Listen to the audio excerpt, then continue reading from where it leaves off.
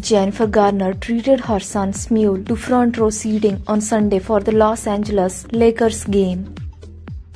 The mother and daughter Jew enjoyed an evening together watching the Los Angeles Lakers game against the Golden State Warriors on March 5th, where both Jennifer Garner and Samuel Affleck were spotted sharing smiles while sitting courtside. For the occasion, Jennifer Garner, shares Samuel, Seraphina and Violet with her ex-husband Ben Affleck, spotted a grey sweater and black skinny jeans. Meanwhile, Samuel donned a blue Steph Curry hoodie in sport for the Warrior superstar. It's clear spending time with his parents while watching a game of basketball is something Samuel considers a slam dunk. Back in December, Samuel was seen sitting courtside with his dad Ben Affleck as they watched Ben's Boston Celtics play the Los Angeles Lakers at the Crypto.com arena.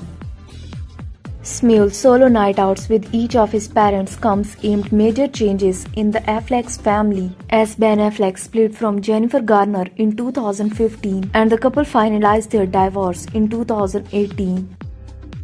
Later, Ben Affleck married to Jennifer Lopez in July 2022. At one point during the night, Jennifer Garner also stopped to sign autographs as she left the game with Samuel by her side. Want more quick global updates on a single YouTube channel? Then you are on a right place. Make sure to subscribe our YouTube channel, Dynamic Feed. And don't forget to press bell icon for our upcoming videos.